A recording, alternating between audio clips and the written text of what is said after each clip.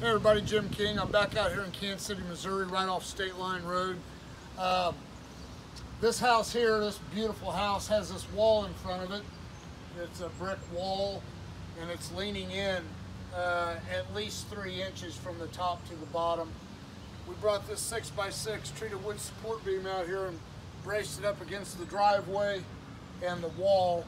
So when I'm out here digging for my three King Pier 2s to be installed, I'm going to take the footing. What's happening here is the footing was once level, thus the wall was level.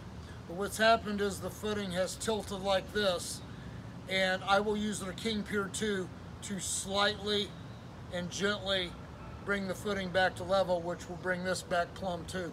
Uh, so stay tuned as we get going on this. Wednesday, we're going to start digging our holes.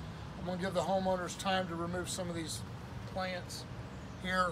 Uh, on the back side of this wall, Jim Blomquist, good buddy of mine, part of the King Piers team, came out here and removed some of the decking for me because when I push this wall back to vertical, I'm going to be pushing up against this wood and I don't want to I don't want to damage it, so we're going to cut it off, come back and sister onto it. It'll be better than it was is right now. So stay tuned for further videos on this. King Piers out here in Kansas City.